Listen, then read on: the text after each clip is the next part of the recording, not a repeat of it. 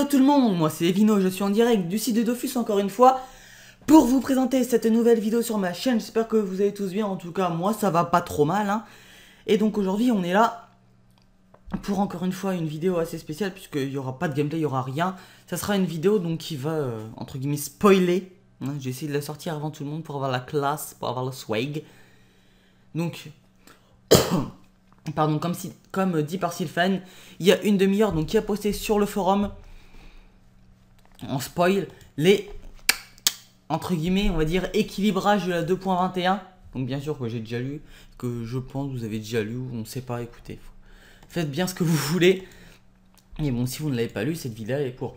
Donc, on commence direct, hein, pour vous dire que je ne gueule pas, je ne vais pas gueuler, je vais donner mon avis et je vous demande de faire de même en essayant de comprendre mes propos et bien sûr j'essaye de comprendre les vôtres aussi et pour avoir un débat, une discussion assez, euh, assez correcte on va dire et assez intéressante comme j'ai souvent sur mes streams mais pas comme, les gens qui ont mis des commentaires sur ma dernière vidéo. Enfin bref voilà ça c'est dit, maintenant on va pouvoir passer à l'action. Bien qu'est-ce qui se passe? On commence direct la refonte FK doit être repoussée. Direct. Les mecs comme ça, direct. Parce que la période n'est pas propice des changements de gameplay aussi profonds sur une classe. Qu'est-ce que ça veut dire? Ça veut dire qu'on n'aura pas de mage sur les classes avant Gulta. Pourquoi? Pourquoi? Puisque ça permet... Puisque il y a des kikous qu'on râlait. Bah, je répète encore une fois, c'est la dernière fois que je le dis, je donne mon avis. Je donne mon avis. Voilà. Il y a des kikous qu'on râlait qu'ils allaient modifier le FK.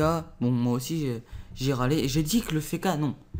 Je, vais vous dire ce que j'ai dit en stream, parce que je l'ai dit en stream, je ne l'ai pas dit en vidéo. Le FK a besoin de cette mage en PVP, en PVP multi, même en 1v1, a énormément besoin de cette mage, bien sûr, mais en, PVM, il est rendu, avec, euh, avec la refonte qui a été annoncée, il est rendu useless, on est bien d'accord. Donc voilà. Donc, je trouve ça dommage aussi. Pourquoi euh, Je trouve ça dommage aussi d'avoir pas mis donc la refonte CK. Euh, tout simplement parce que parce que je, cherche mes mots en même temps parce que je voudrais dire plein de trucs en même temps. parce que on aurait vu là, c'est vraiment là qu'on aurait vu. Donc les les Kikous qui jouent qui sont créés un FK puisque euh, voilà ils veulent et leur classe par exemple c'est pas un FK de base mais ils veulent faire le Gulta avec leur FK ou les vrais, les vrais FK, qui ont toujours joué FK ou qui jouent FK depuis longtemps, et qui auraient su apprendre les, les nouveaux sorts pardon, de leur classe, qui auraient su s'adapter, qui auraient su intégrer de nouveaux gameplay, et, et ça aurait demandé un gros entraînement, et j'aurais trouvé ça sympa niveau, euh, niveau gameplay, vraiment, niveau, euh, niveau spectacle aussi, et niveau stratégie. Donc voilà. FK s'est passé, on n'en parle plus. Cependant, la mise à jour 2.21 ne sera pas complètement dépourvue de modifications des équilibrages. Voilà, donc ça parle beaucoup du Gultar, bien sûr. Des ajustements attendus sur des classes, attention. Donc, je, suppose que on va parler... Euh,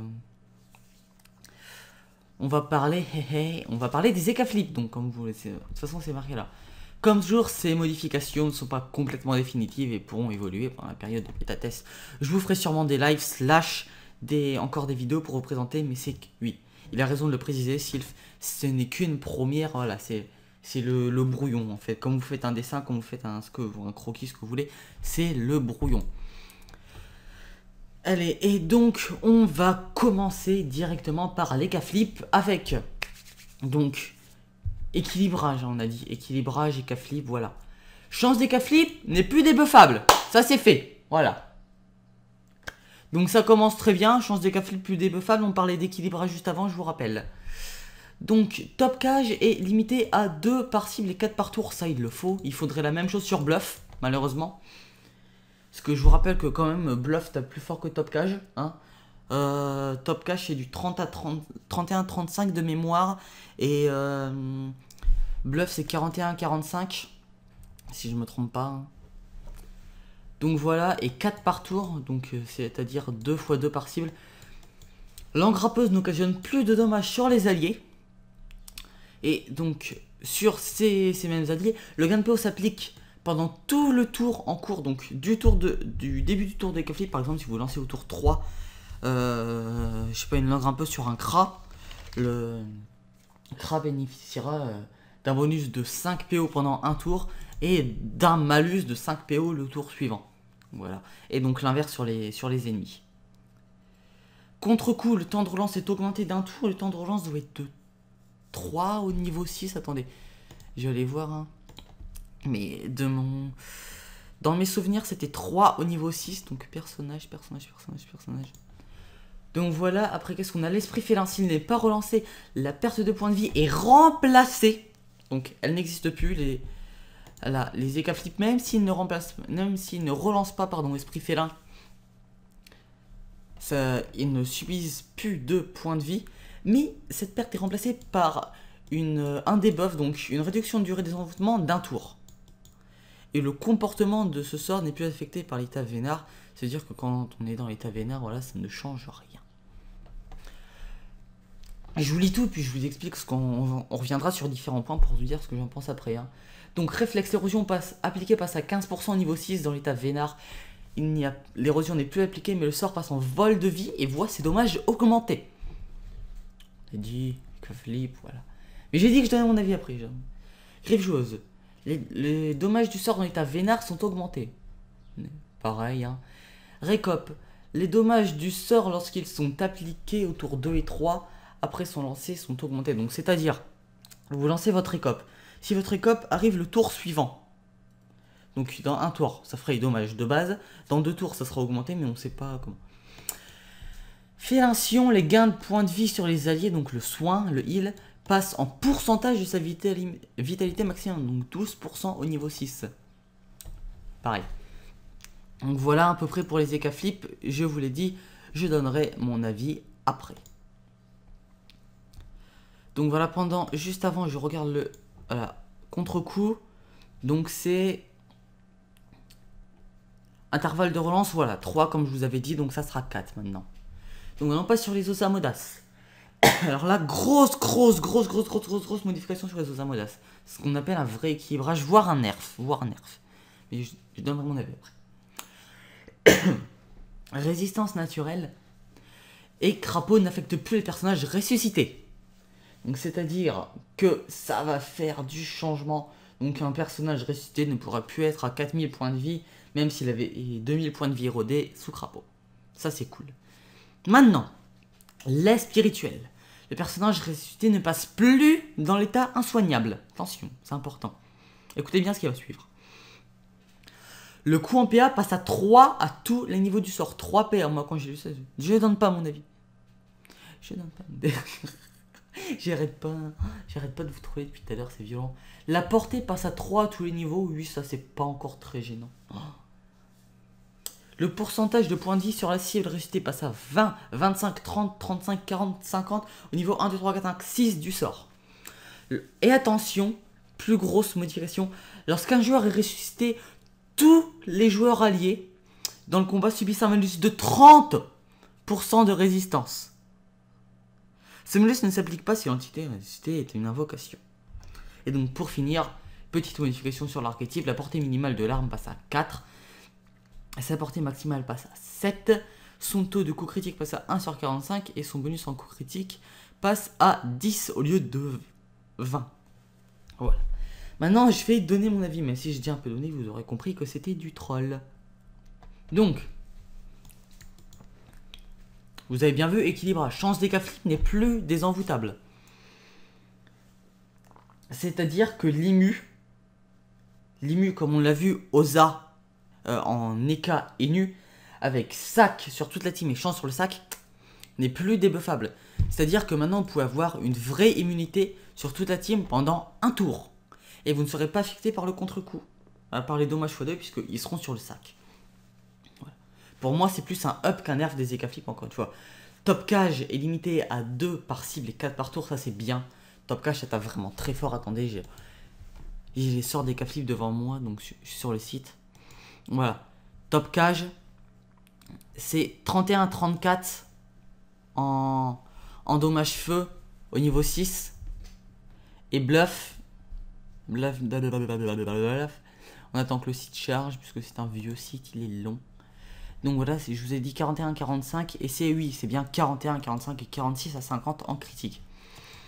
Donc voilà, pour moi, la modification à faire, elle est plus sur... Euh, même si elle est sur top cage, elle est sur bluff aussi, puisque vous vous rendez compte?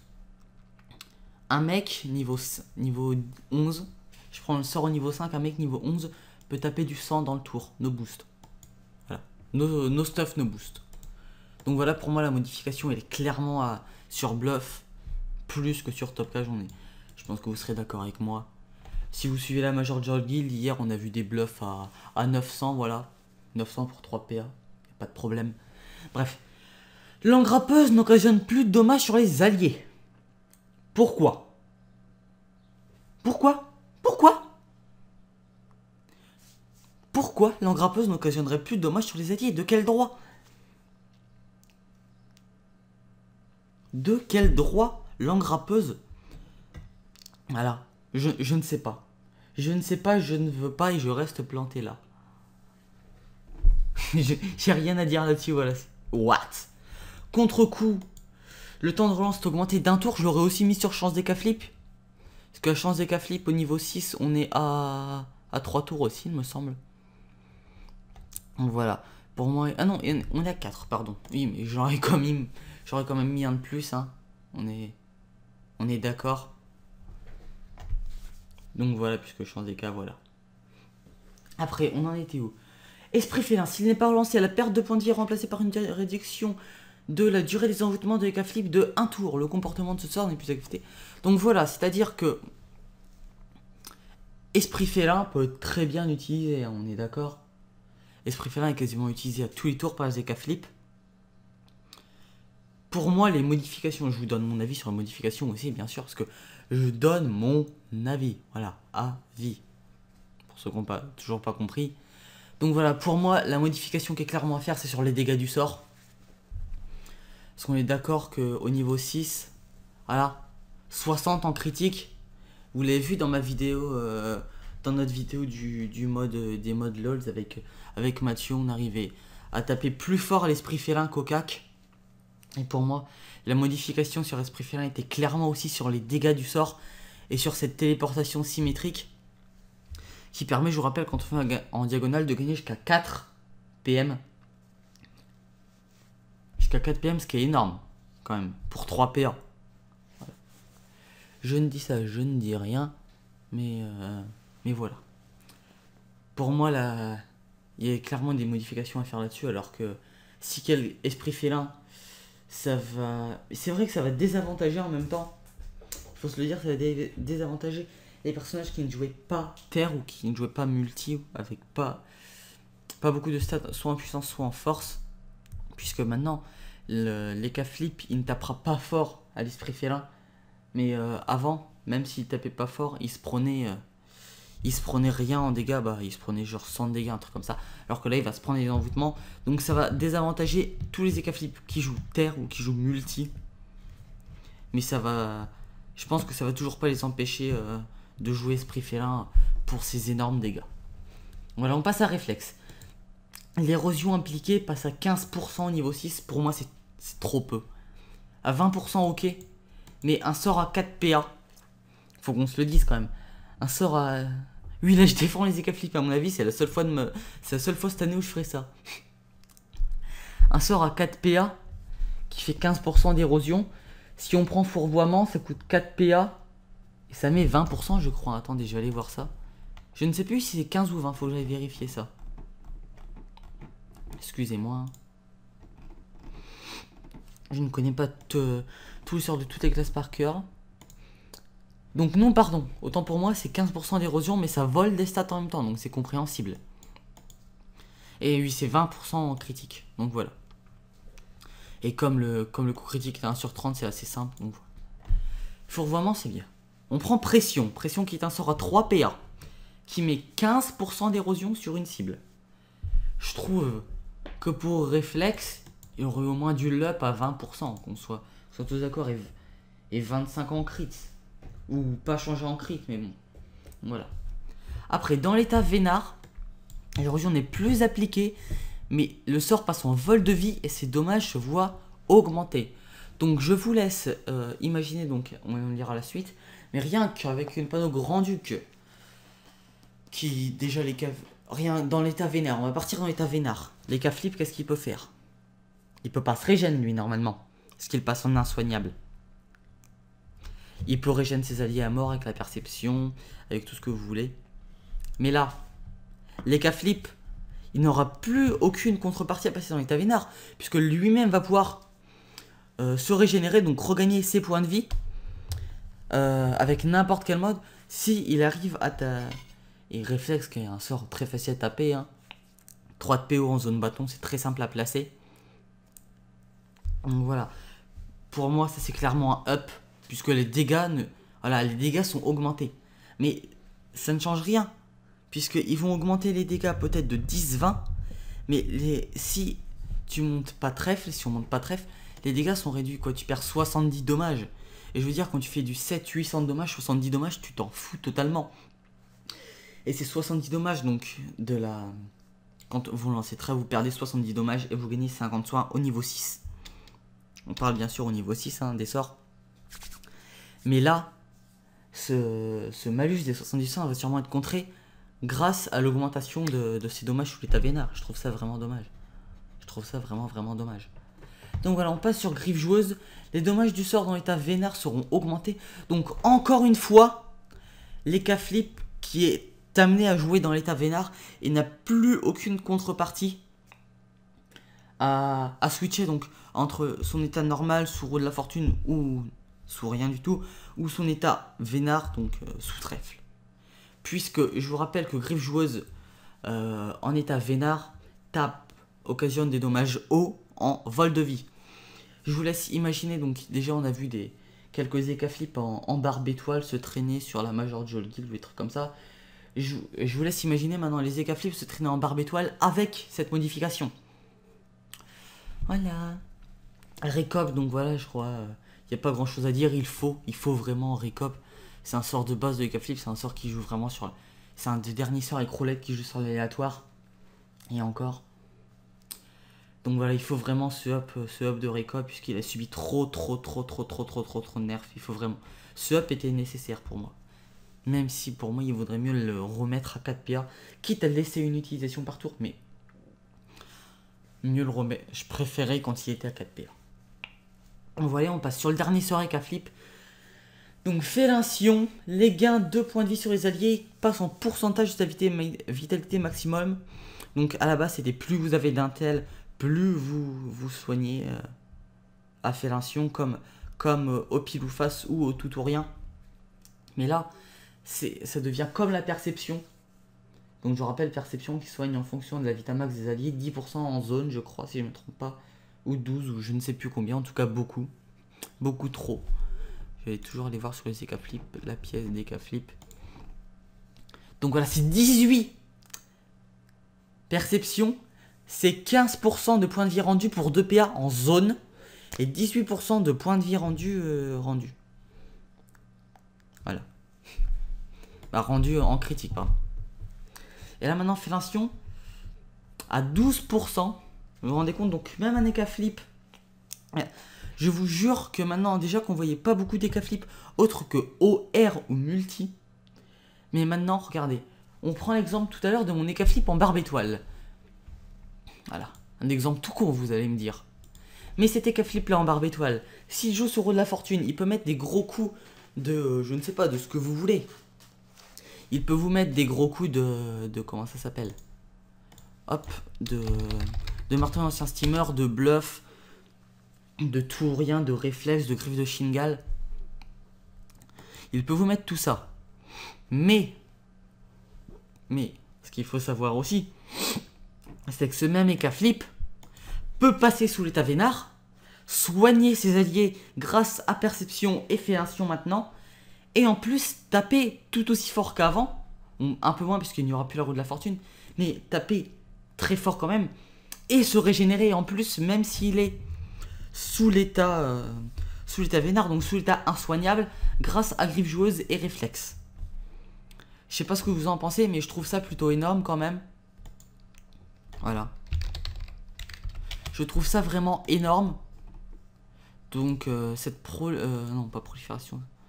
Comment on dit? Ah Donc, euh, excusez-moi, je ne sais plus mot, mais pour dire qu'il va y avoir de plus en plus, de plus en plus, donc des cas flip euh, OR, en tout cas, dès qu'ils le peuvent, comme si ce n'était déjà pas assez le cas.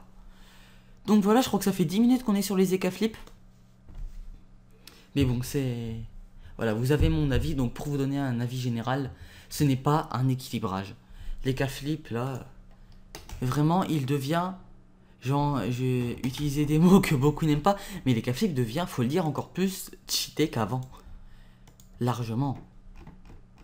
Les flip maintenant, un flip soit en strigide, soit au R, en ce que, avec n'importe quel panneau que vous voulez, sera plus fort, sera au-dessus obligatoirement que tous les autres, puisque Top Cage est touché, Esprit Félin est touché, mais, mais Bluff n'est pas touché, mais réflexe, je considère qu'il n'est pas touché. Vraiment. Tout, rien n'est pas touché. Griffe joueuse n'est pas touché. Il est, est même up. Bluff n'est pas touché, je l'ai déjà dit, c'est pas grave. Roue de la fortune n'est pas touché, donc voilà. Ça va augmenter le nombre des flip encore, encore, encore, et des EK flip O, R, O, R, O, R, et rien d'autre. Voilà mon avis sur les EK flip. Je vous demande de, si vous voulez donner votre avis, ne me gueulez pas, ouais, machin, donnez votre avis, faites des, commentaires, même longs, constructifs. J'y réponds, je réponds à tous les commentaires, sauf, euh, sauf voilà, quelques-uns particuliers euh, dans la dernière vidéo, enfin bref. Donc voilà mon avis sur les flip. Je vous, euh, je vous invite à donner le vôtre si vous, si vous voulez. Et si vous voulez pas, bah, faites comme vous voulez, écoutez, enfin bref. Donc voilà, au moins vous avez le mien et c'est important pour moi déjà de vous informer cette, de cette modification quand même, puis de vous le donner, puisque voilà. Maintenant on passe aux Osamodas. Donc vite fait, hein, vite fait, puisqu'on est déjà. Je me rends compte qu'on est déjà à 22 minutes de, de vidéo. Donc voilà. Qu'est-ce qui se passe? Donc les Osamodas résistance naturelle et crapaud n'affectent plus les personnages réutilisés, c'est bien, c'est très très bien. Puisqu'on peut voir hein, les Osamodas. Enfin, ils ont... en fait, j'ai l'impression qu'ils ont plus réagi face aux Osamodas qu'au. Euh, que face, comment dire aux, aux flip suite au tournoi des 10 ans, puisqu'on a vu la spirituelle qui a fait, qui a fait le café, qui a renversé des matchs sur, sur le tournoi des 10 ans. Mais pour moi, il manque quelque chose quand même.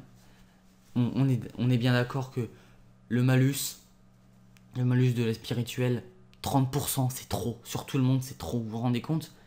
Quelqu'un qui joue en grand-duc, qui a 15% de résistance maximum dans un élément, il se retrouve à moins 15, il se retrouve, à moins 30, c'est trop, trop, trop, trop, trop. Pour moi, il doit être de 10, 15, pas plus. Vous vous rendez compte, euh, vous, rendez compte ce que ça représente? S'il vous plaît? 30% de faiblesse, c'est 2 vulnés d'un pandawa, c'est 6 PA. 6 PA gâchés, et seulement par un pandawa. Puisqu'un Yop peut même pas le faire avec son bon, puisque son bon n'affecte que qu'une seule fois par tour et donc euh, que 15% des dégâts. Vous vous rendez compte un peu? Ce nerf des Osamodas et je crois que Vidofus l'a déjà dit sur Twitter, il va, euh, il va enlever son Osamodas de sa team. Voilà, ça peut le dire, voilà. Je peux vous le montrer, hein, j'ai la preuve. Voilà. Ça, Osamodas, voilà, c'est ça peut qu'il dit. Osamodas devient useless. Attendez. Par contre, avec cette match, voilà. Voilà. Loza sortira de mes compos colis. Bye bye Videosa. Donc voilà, tout, tout, tout, tout. Pilier, je sais même pas si Loza va être considéré comme un pilier maintenant. Tellement, euh, tellement, il est... Je sais pas si on peut encore le considérer comme un pilier. Tellement il est faible. Donc voilà, par contre... Non mais... Voilà, voilà. Voilà, voilà, voilà, voilà. Donc, on a été oui, voilà, ça c'est trop. Bon ça bien sûr c'était 50% c'est largement assez. Hein. C'est largement assez. Donc, mais par contre je doute sur la, survie des Osamodas. Malheureusement. Donc voilà, on va finir vite fait euh, sur l'archétype. L'archétype, qu'est-ce qu'il y a? Qu'est-ce qu'il y a l'archétype? Eh ben L'archétype devient un peu useless, on peut le dire. Hein. Euh, portée de 2-9 passe 4-7. Donc voilà, minimal 2, maximal 9 passe de 4 à 7. Taux de crits passe 1,45 au lieu de 1,30. Donc les gens euh, qui jouent à l'équipe vont être obligés de jouer avec un tutu, puisque je vous rappelle, la plupart des gens qui jouaient euh, E-Type au Ghoul Terminator et au, au tournédisant ne jouaient pas de Dofus turquoise. Ah, excusez-moi, je un coup, ça fait 25 minutes que je parle quand même. Son bonus, son CC, passe à 10 au lieu de 20. Je vous rappelle que ça affecte les soins, donc oui, là c'est nécessaire, on est, on est tous d'accord, donc voilà. Je pense que j'ai rien d'autre à dire sur cette mage. C'est encore un réop des Eka Flip. Et je pense vraiment, c'est mon avis, que euh, c'est un fait exprès, on va dire. C'est un... C'est volontaire de la part d'Ankama. Puisqu'ils il se rendent compte pardon, qu'il y a de plus en plus de joueurs qui partent. Et donc, à mon avis, ce qu'ils essayent de faire en ce moment avec les K-Flip, c'est euh, comme ils l'ont fait avec les Dopu. C'est d'arriver, en fait, de faire arriver plus, de plus en plus de nouveaux joueurs. De nouveaux joueurs qui vont être sûrement plus petits et qui vont sûrement plus acheter. Donc, pour se faire plus de sous, mais c'est tout à leur honneur. Hein. C'est tout à leur honneur de faire ça, on est d'accord, de faire venir des joueurs. Mais je pense qu'il y, aurait d'autres façons en fait de que de faire ça, puisque ça pourrit le jeu, ça pourrit le jeu, ça pourrit le PVP, ça pourrit les tournois de l'autre côté. Donc voilà, moi pendant que je vous parliez, euh, pendant que je vous parliez, pendant que je vous parlais, j'étais en train de faire un petit stuff à côté, donc pour voilà un Eka flip vide, donc je faisais ça vite fait, il hein, n'y a pas, pas de problème là-dessus. Euh, qu'est-ce que je peux mettre en dernier trophée? Je ne sais pas, je ne veux pas et je reste planté là. Euh... Je sais pas, j'ai mis les 4... Euh, voilà, j'ai mis les 4 Dofus. Je vais mettre le Dofus des glaces, écoutez. Donc voilà, pour vous montrer un peu ce que ça peut donner un Eka Flip OR. Donc voilà, on part sur un cram cram sur un cram cram avec euh, 1096 en Vita. J'essaie de faire doucement avec mon clavier puisque c'est vrai qu'il est très près de mon micro. Bah, en même temps, je peux pas, je vais pas mettre mon micro à l'autre bout de la pièce non plus. Donc voilà ce que ça peut donner vite fait sans over Vita, sans rien. Sans boost non plus. Un EK Flip 5000 de vite, 12-6. 3 PO, bon en OR on s'en fout un peu. 400 de puissance, 300 de puissance, pardon, deux invocations, c'est vrai que c'est un peu faible, mais bon, avec des exos invoque tout, j'ai fait ça vite fait. Hein. Donc on voit les résistances 19, 37, 27, 12, 30. Avec gros dommage O, gros dommage R. Pas beaucoup de fuite, mais avec un trophée fuite, ça se compte vite fait, du gros tac, du gros tac. Et même les OR n'a pas besoin. N'a pas besoin de fuir, puisqu'il reste sensiblement cac. Des grosses esquives. Retrait, on s'en fout un peu. Arme, voilà. Les plus grosses on s'en fout, les pas. Donc voilà, on commence sur bluff. Voilà, sur bluff avec des patates à 400 voire 500 pour 3 PA, no boost. Euh, des trucs à 600 pour des PA no boost. Je rappelle, c'est no boost. Hein. Réflexe, donc voilà. 400, 450, ça peut faire. Voilà, c'est vraiment violent. Hein. Vous imaginez ça Regardez. Des récopes à 900. Félation. Voilà, vous imaginez tout ce Rox là, donc je vais le booster un peu quand même. Voilà, puisque, puisque si l'Eka Flip n'est pas assez cheatay sans ses boosts. Donc voilà, hop, voilà, des patates à 600, nos boosts, nos crits. Il n'y a pas de problème, j'ai envie de vous dire. Là, imaginez maintenant ce Rox là, bon, Imaginez le Rox de base d'avant avec les Tavenard en plus.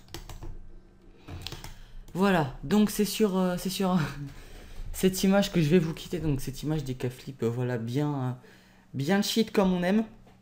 Ah, je vais vous dire, n'oubliez pas de réagir, donc de laisser des commentaires sur la vidéo, hein, de me, de me dire ce que vous en pensez. Et de me dire votre avis aussi si vous ne l'avez pas déjà vu. Même si vous l'avez déjà donné euh, sur Twitter. Donnez-moi sur Twitter un hashtag Evinoob, il n'y a pas de problème. ah là là. Donc voilà. N'hésitez pas à réagir. Mettez un, pouce vert et un commentaire si cette vidéo vous a plu. Vous êtes comme... Euh... Oh putain, je foire toujours mes intros, c'est de la merde. Allez, restez comme vous êtes, vous êtes super. Bye bye tout le monde et à la prochaine pour de nouvelles infos. Allez, salut Re, donc petit bonus qu'on vient d'apprendre à l'instant, les piliers du Ghoul Terminator seront Osamodas, Eniripsa, Feka et Xelor. Voilà, je n'en dis pas plus. Je lance un live donc à partir de 17h si vous voulez venir me voir, je vous vous y invite, on pourra discuter voilà pendant une ou deux heures voilà. Je pense aller bye tout le monde, tout à l'heure et à la prochaine.